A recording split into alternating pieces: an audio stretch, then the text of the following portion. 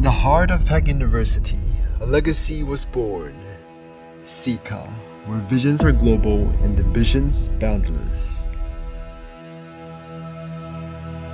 Since 1997, forging connections across continents, from Harvard to Tokyo, Cambridge to Qatar, SICA stands at the crossroad of world-class collaboration.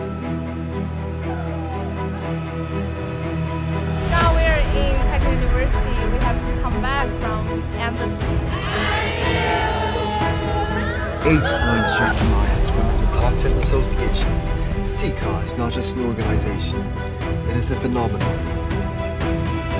Bridging gaps and building futures. Join us in crafting a world without borders. It is amazing! I've never been there like this before. Part of this visionary journey, SICA, from Peking University to the world.